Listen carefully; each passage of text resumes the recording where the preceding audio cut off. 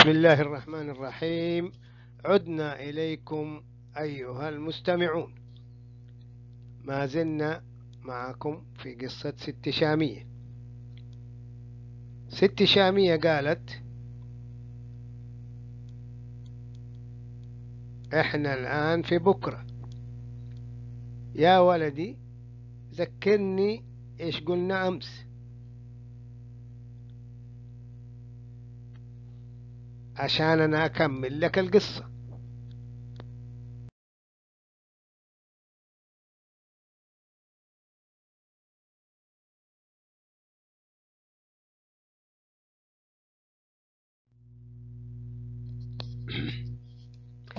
طيب صار وقفنا أمس عند الملك أعلن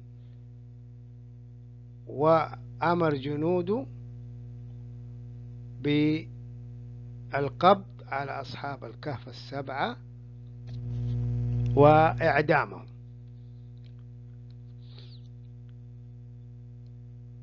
وقلنا إنهم هم عرفوا وهربوا كانوا سبعة فتية يعني شباب كلهم أولاد وهربوا معاهم كلبهم سبعة وثمانية الكلب.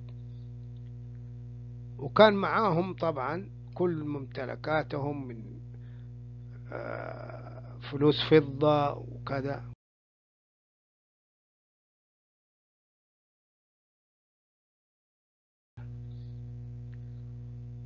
ومعاهم كل شيء.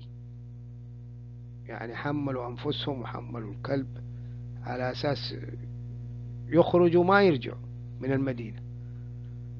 يسافروا مدينة بعيدة يسافروا لكن هم عندهم أصلا اعتقاد في الانتقال من الكهوف.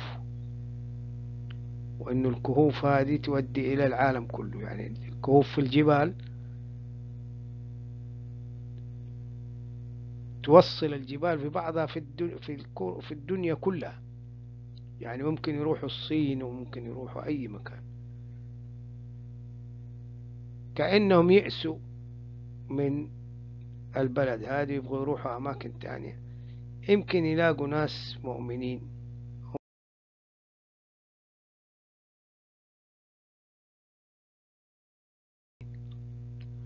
ويعيشوا معاهم. وإذا لقوا ناس مو مؤمنين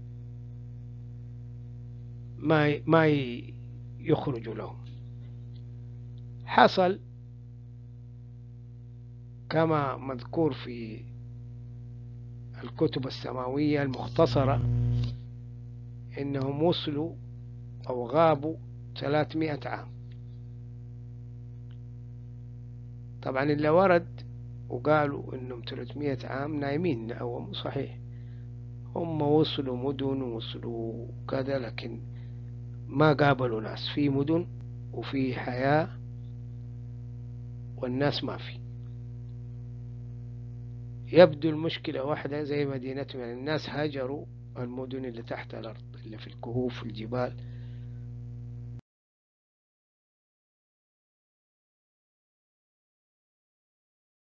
الفكرة اللي هم قالوها على بلدهم الاقتراح اللي بدهم يقترحوه. وقالوا إحنا حصلنا حل مشاكل الفساد هي السرابيل لأنهم هم كانوا يقروا في الكتب السماوية وإنه كيف كانت الناس عايشة ما في فساد ما في سرقة ما في شيء يعني عايشين في نعيم. فكأنه كانوا هم مقتنعين إنهم يقولوا للناس بلدهم بلدتهم إنه ليه ما نرجع لحياة الكهوف؟ فرجعوا هم لحياة الكهوف. لكن هم اللي رجعهم لحياة الكهوف الهرب. طبعا هم عندهم خارطة خريطة لل حتى لين يأجوج ومأجوج اللي تحت الأرض وال... وال... يعني قبائل وناس. لكن كانوا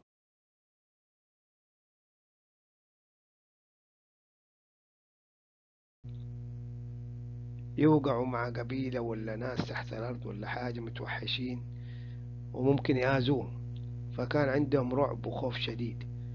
وكل ما يوصلوا مكان يحسوا إنه كبير وفي ناس ممكن ينزووا في جهة ويناموا. حتى لأنه كل الكهوف هي مسافات يمكن حوالي مسيرة شهر في يعني زي من جدة زي من مكة للمدينة مسيرة 15 يوم كهف واحد. يعني يودي على بعضه كده يطلع من جبل في فوهة ويطلع من جبل لين توصل المدينة. وللشام ممكن يكون خمسة ستة كهوف. الجبال يا ولدي سلاسل سلاسل توصل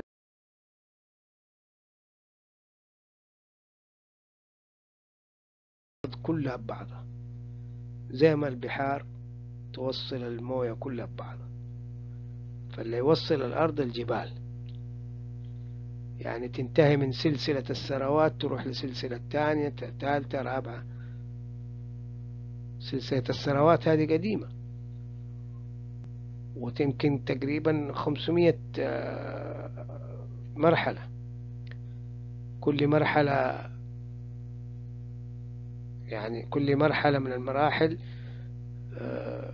يعني مسافة يمكن عشرة كيلو. يعني يمكن خمسة آلاف كيلو ولا شيء. مع تعرجاتها مع شوف أنت خط واحد. أنت لما تمشي للمدينة تشوف خط واحد. هذه سلسلة جبال السروات ف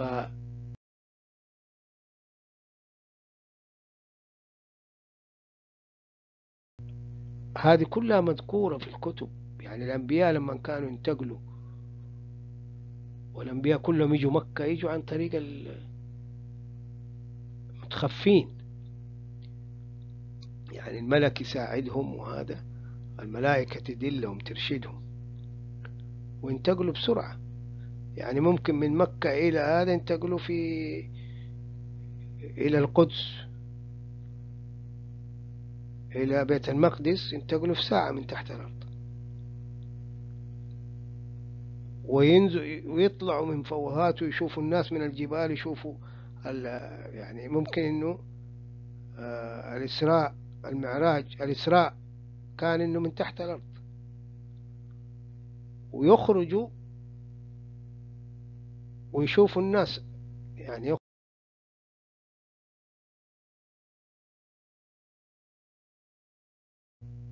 وهم بيمشوا يعني بالبراق وبالكذا. البراق هذا يمشي تحت الأرض ممكن يكون. الله أعلم. لأنه الشيخ الوالد لما راح الهند شاف كثير أشياء مكتوبة حتى عن قبل الرسول صلى الله عليه وسلم. كيف انتقلوا بين جدة بين أقصد مكة. أنا ما أحب جدة. ما أدري ليش أقول جدة. مويتهم موية الكنداسة موية الملح يشربوا موية ملح. ما عندهم موية. مكة الحمد لله عندنا موية زبيدة. تجي من من الجبال. الموية للحجاج تجي. من جبال مكة تجي نازلة.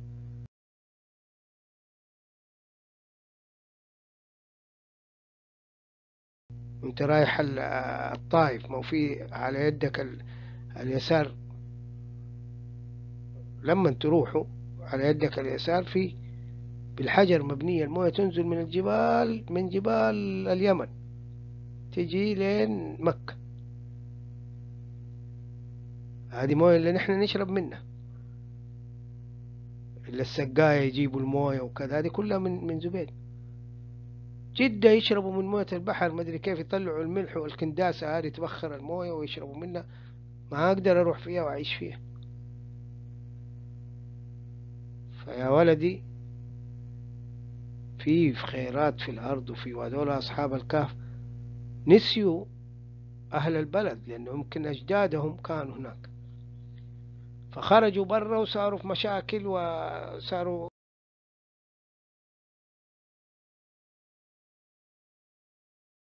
مشاكل وفي حرامية وفي لأنه ما عندهم الأرزاق ما عندهم الها لكن كانوا أصحاب أهل الكهوف يعيشوا هناك ويخرجوا وتجي الحيوانات في عند الحياة كانت. وفي القرآن وفي كل الكتب إرم ذات العماد. العماد هي الجبال التي لم يخلق مثلها في جنات في الجبال تحت الأرض. وممكن يسافر الواحد إلى من من في ساعة من مكة للمدينة ومن مكة لبيت المقدس اللي هو القدس. يعني الرسول صلى الله عليه وسلم لما راح من مكة في ثلاثة أربع ساعات في نفس الليلة راح وجاء يعني في ناس تانيين الدرب ليعرفوا المداخل والمخارج لأنه اللي ما يعرف طول عمره يجلس. يعني أصحاب الكهف جلسوا 300 سنة. عشان مو عارفين يخرجوا ومو قادرين يعيشوا مع الناس. موعدنا بكرة. نكمل معك من نكمل ست شامية. تكمل قصة أمس.